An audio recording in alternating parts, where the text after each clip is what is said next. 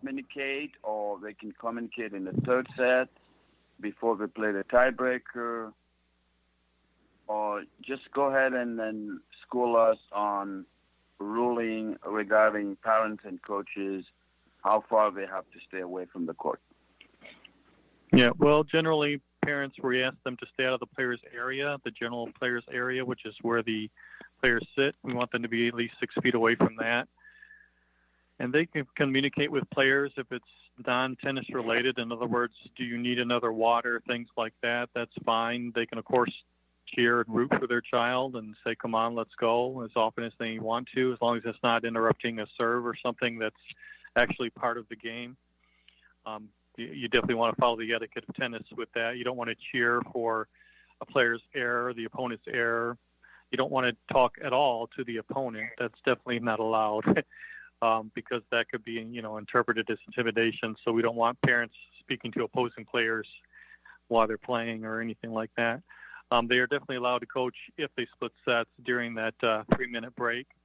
It could be a 10-minute break if there's been a heat rule, or if it's going to be a full third set. There's a there could be a 10-minute break, and they're allowed to coach uh, during that entire time. Okay.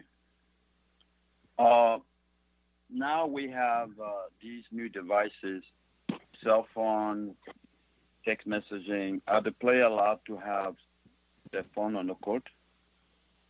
Well, it can be in the bag as long as it's turned off or on vibrate. They can't use it uh, for communication. Um, obviously, unless it's been a split set situation, then they can use their phone, just as if, the coach is not there, for example.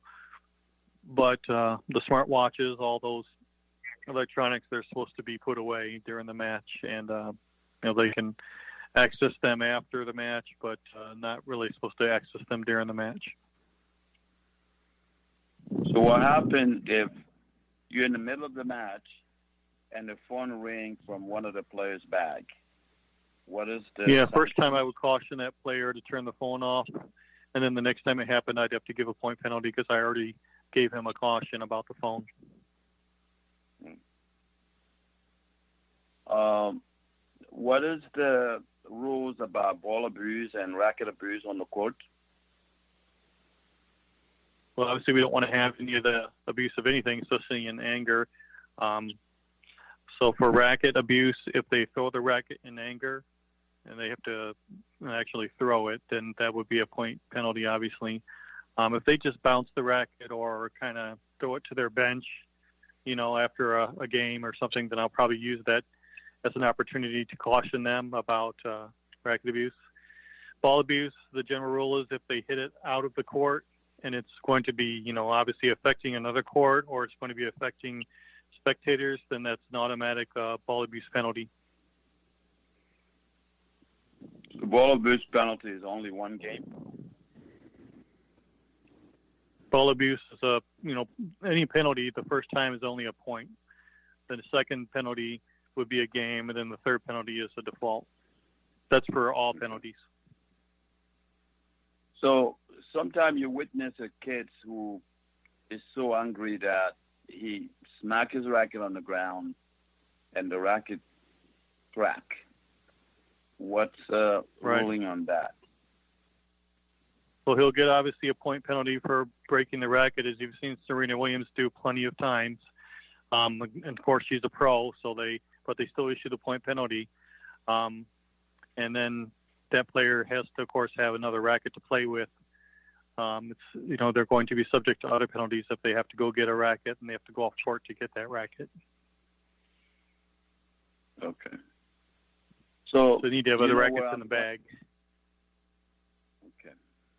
So you know where I'm going with this. Uh, this year at the U.S. Open, Djokovic, who is current number one player in the world, hit mm-hmm. a referee with the ball, and the referee uh, collapsed. So he got automatically defaulted. Can you elaborate on this situation because a lot of people still talk about it? Yeah, the rule is very clear though. If you hit a ball in anger and it hits, if it's the opposing player, if it hits the line judge, no matter who it hits, even if you didn't intend to hit them, if it does in fact hit them, you're automatically defaulted. So that's players all know that rule, and that's why it's dangerous for you to hit any ball in anger because if it does hit somebody, then you're automatically defaulted. I had to eject a um, default player once for he did the same thing. He hit the ball in anger, and he wasn't trying to hit his opponent, but it it did hit his opponent. So I had to default that player. Okay, so when you default a player like that, uh, do you have additional sanction? That player lose that match and is it suspended, or he no, it's can, just for that. Uh, it's only it's usually only for that match. It's not something that would uh, linger or or you know unless it was. Uh, I mean, you have to send um, in junior tennis. You, know, you have to assess penalty points um, that get turned in, and those accumulate over a period of time, and then that that could result. Yeah, if they accumulate, I believe it's 12 points um, within a six-month period, then they're suspended for uh, a period of time. I don't know if it's three months. I think it's usually six weeks, but um, I would have to clarify that because you know that kind of fluctuates each year how long the suspension is. But uh, it's 12 points, that's for sure, and that's you know like like a point penalty is typically two points. So if you get a, six of those, then you're going to be looking at a suspension. And you'll get a usually the player would get a letter from the USTA letting them know, you know, and something they can look um, they can look it up as well um, through the USTA website to see if they have any points uh, accumulated, you know, throughout the year. Let's go into an area where uh, the player is suspended, and then uh, when during that suspension period they don't get any point, any ranking, right? If they were number one in Florida or two, uh, some people can get ahead of them because they're penalized, right? Uh, I guess yeah. The way you describe it, that that is possible. But um, you know, we're just trying to ensure fair play. So usually, everyone, you know, players notified in the tournament is notified if if that situation is going to arise. Uh, when can a player get suspended through an infraction committed by either coach, his coach, or his father or, da- or mother? For one incident? Right. Yeah, just clarifying if it's one incident or accumulation of instances. It would be accumulation, probably. Yeah, if it's an accumulation, you know, like I said, usually it's, it's uh, six weeks, but you know, it, it, dep- it really depends on what the USTA as a there's a group of people that make those decisions, and they can make it from six weeks to anywhere to three months. So it all depends. They can look at other factors of has this student been uh, has a child had previous suspensions and things like that. So if you're listening to us today, uh, this is SACU Radio, Southwest Florida, Sarasota, Bradenton area. And today our guest is Matt Pfeiffer, who's been a tennis referee for USTA tournament for over 18 years. Matt, is a difference between college tennis and junior tennis?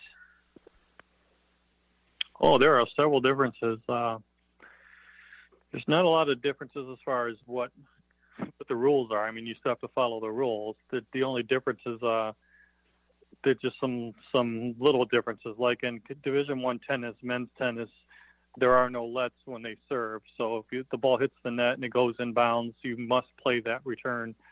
Um, there there are no lets on the serve. And then the no ad rule. There's no ads in any of the college tennis anymore. Division One, Division Two, or Division Three. They're all played uh, with no ad scoring. Okay. Other than that, they still have to follow the same rules as, as uh, any junior player would have to follow. Now, of course, there is coaching allowed during college matches. Right. Um, we're getting uh, close to the end of uh, our part one regarding Matt Pfeiffer, a tennis referee, tennis tournament referee.